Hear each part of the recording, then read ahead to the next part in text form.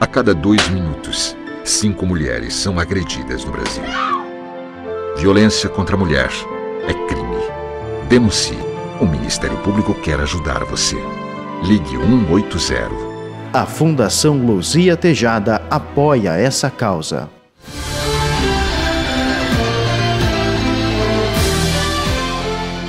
Depois que os serviços de base da ERS 715 foram concluídos, as obras da ERS 717 foram retomadas essa semana.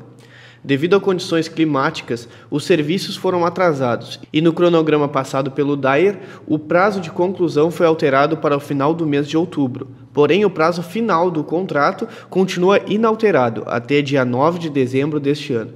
A respeito da construção, estão sendo realizados serviços de base graduada simples que devem ser concluídos até dia 30 de setembro. Depois desse prazo, os serviços de concreto asfáltico usinado a quente, asfalto pré-misturado a frio, drenagem e sinalização serão os próximos passos para que a obra da ERS 717 seja concluída.